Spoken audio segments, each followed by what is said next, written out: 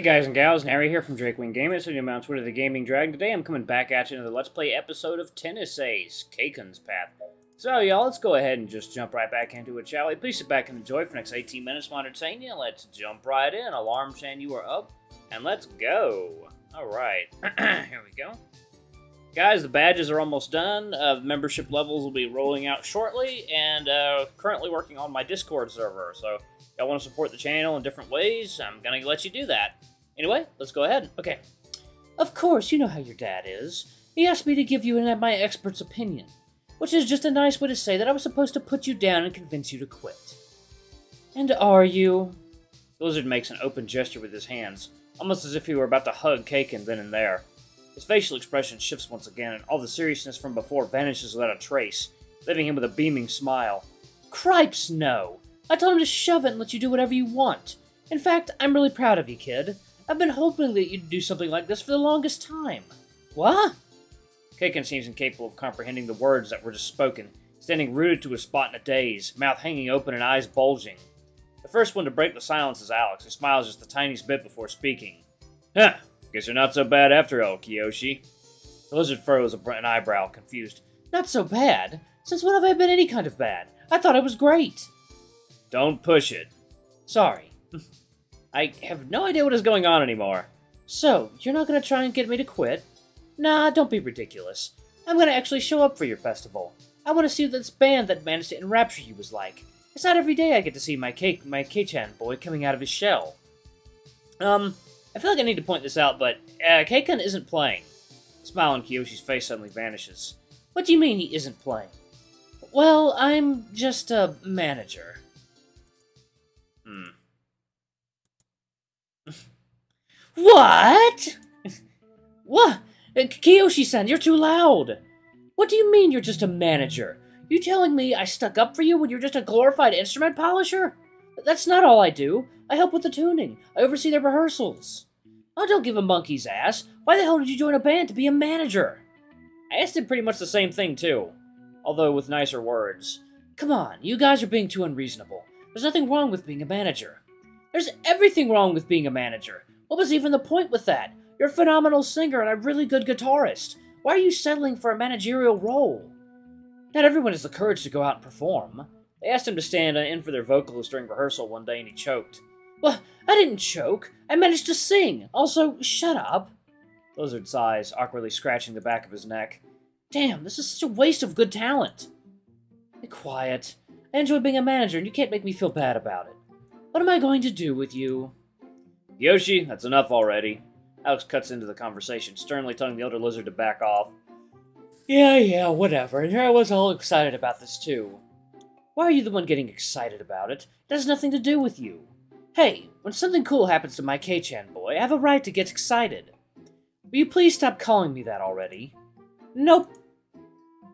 Oh, excuse me. I hate you. No, you don't. I'm surprised Keisuke hasn't already strangled this guy by now. Alright, great. You've said your piece. Can I go now? Oh, is that all I am to you? Just say a few words and then leave? I thought we had something special. At this point, I don't think Kei-kun has any fight left in him. He looks so defeated. Was there anything else you wanted to discuss, or can I leave? Well, I was going to give you a present for joining your first band, but now that I think you're just a manager, I don't know if I should. A present? His ears perk up as soon as he hears the word present being said. Knowing you, it would probably be a gag gift, wouldn't it? Kiyoshi-san chuckles. Well, that definitely sounds like something I would do. That wasn't the idea. It's not something that would explode or pop out of a box, is it? I just said it's not a gag gift. I don't believe that for even a second. Here, hang on a second. Kiyoshi-san dives behind the counter, disappearing out of our view. Kei-kun leans against the wooden, the, wood, the wooden glass counter, peering, peering, trying to see behind it.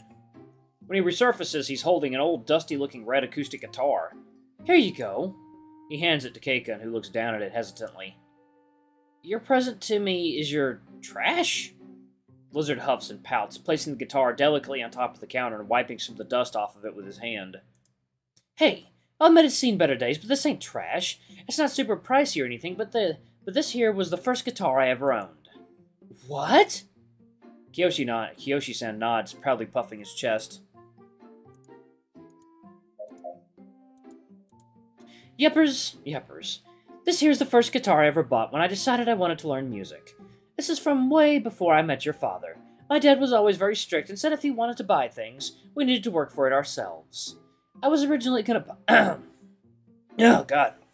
I was originally gonna buy a really base, basic model, but when I first laid eyes on this beauty, it was love at first sight.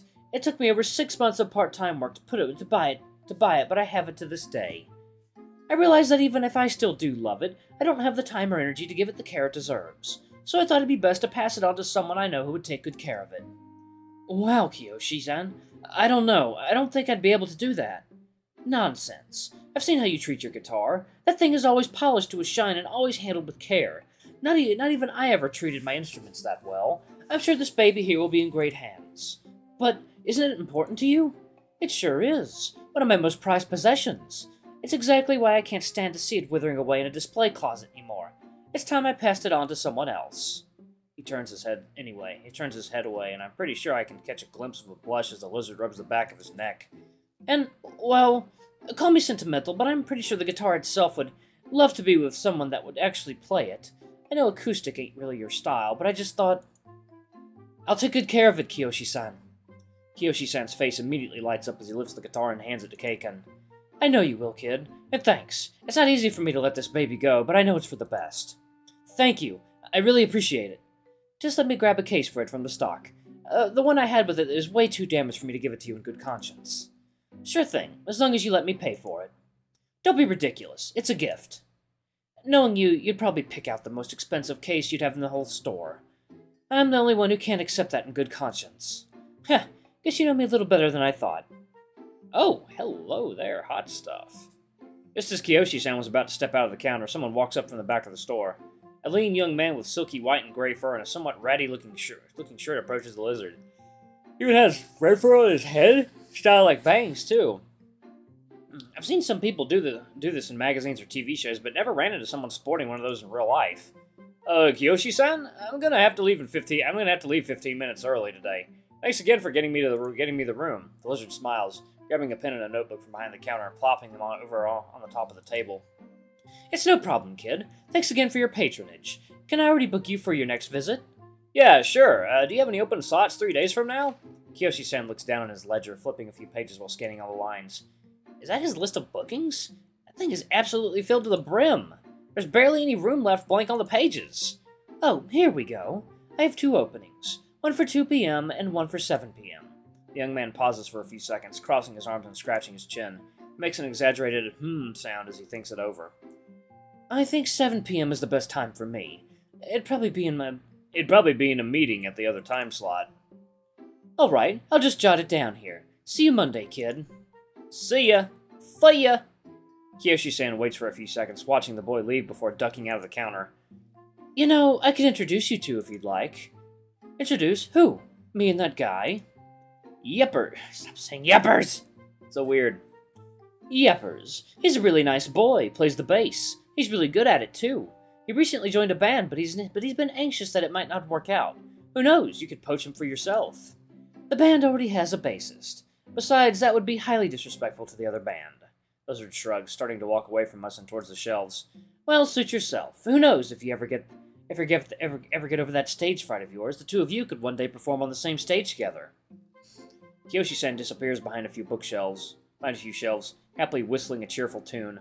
Well, as far as interactions with Kiyoshi go, this one was this one was the better. This one was one of the better ones. Yeah, it was. From the corner of my eye, I see Kei-kun gently, gently cradling and petting his new guitar. Looking down at it with affection, the sight brings a smile to my face. Despite his earlier insistence on leaving, Kei-kun easily spends another hour on the store chatting with Kiyoshi-san. For most of the time, I don't I don't get many chances to speak, but I still somehow end up enjoying myself. Once those two finally run out of things to say, Kei-kun excuses himself and we leave.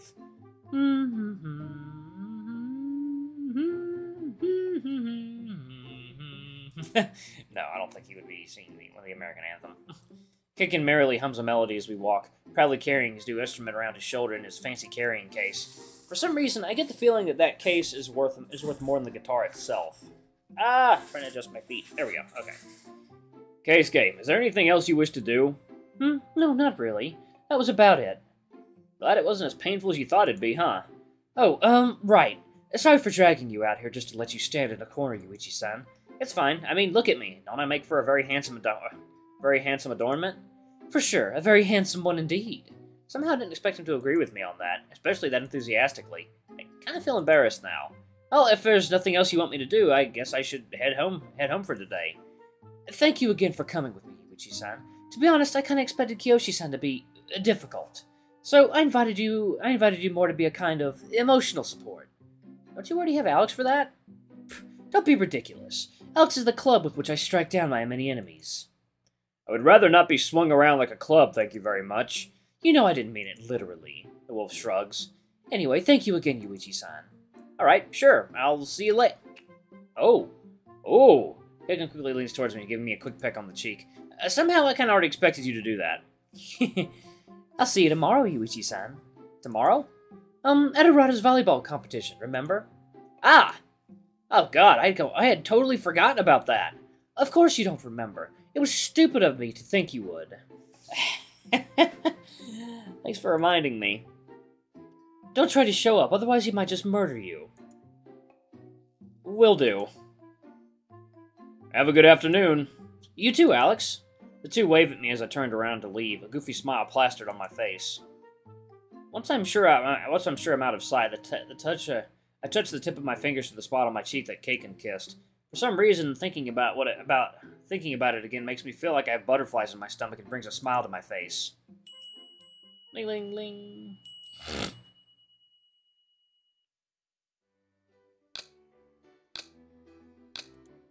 Somehow I'm faintly aware of the fact that I'm already half awake. My eyelids feel so incredibly heavy that the idea of opening them starts to feel like wishful thinking. No more, no, more importantly than that, I just don't want to.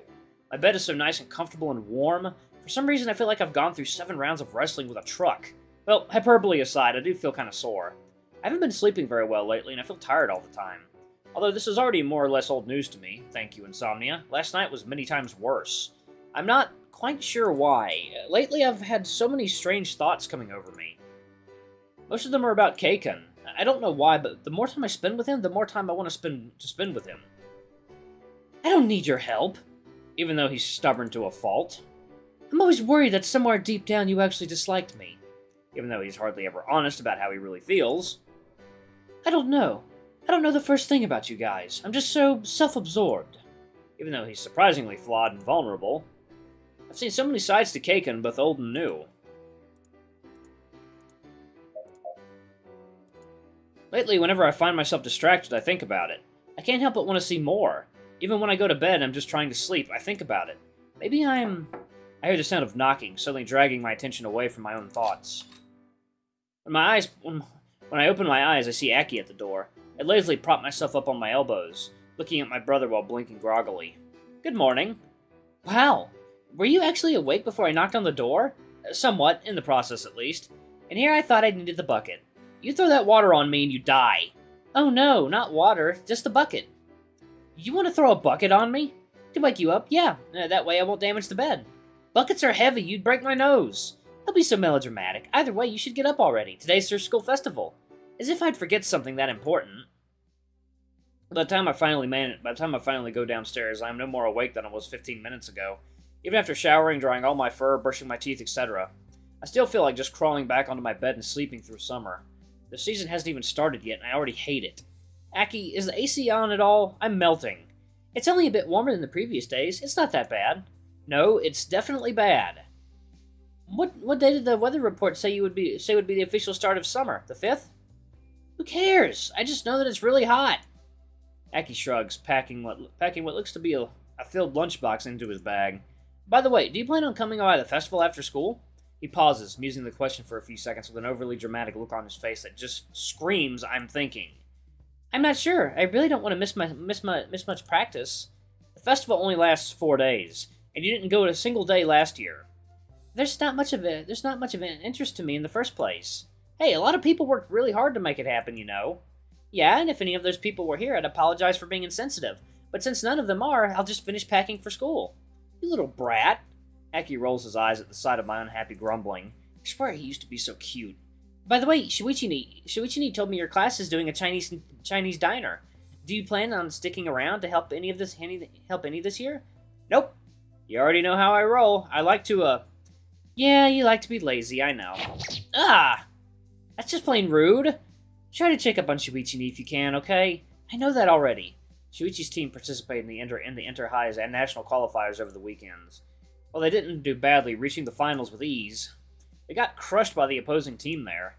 I it always felt like no matter how hard they tried, the gap between those two teams kept widening every year. This time it was plainly obvious. Barely able to score. This time it was plainly obvious. Barely able to score. Their defense was just blasted away by the other team. In the end, they lost in straight sets. Not once did they go over 15 points in a set. It felt like they were just missing more offensive potential. Come on, don't look like that. Shuichini's already going to be really upset when I. We don't need you to. We don't need you down in the dumps too. I guess you're right. Oh, and by the way, tell Keisuke-san he took my earbuds by accident the last time he was here, please. What? Kei-kun did? Aki nods, closing his bag and holding it behind his shoulder. Yeah, I think he just put it in his bag and forgot about it. Either way, I went looking for it yesterday and didn't find it. Are you sure you just didn't lose it? Positive. Anyway, I'm leaving now. Have fun at the festival. The sound of the door closing echoes down the hall. I should probably message Kei-kun about it before I forget. Oh, Yuichi, good morning. I hear a familiar voice calling out to me from the stairs. When I turn to look, I see my mom dressed in her usual work attire, fiddling with her bag by the stairs. That's new. You're usually long gone by the time I wake up. My hours got changed a little bit. We got a few new hires in the office, so I don't so I don't need to be pulling overtime every day. Knowing you, you're probably super bitter about it. Mom puckers her lips with a humph, her brow furrowing deeply. So what if I like my work? It's much better than staying at home and being bored. Thanks, Mom. I love you too. Alright, guys and gals, I'm going to go ahead and pause it right here. Thank you all so much for watching. Don't forget to like, comment, subscribe, ring that notification bell, leave a super thanks, or tip if you can, it always helps. Until the next video, I love you all. I'll see you next time. Bye-bye!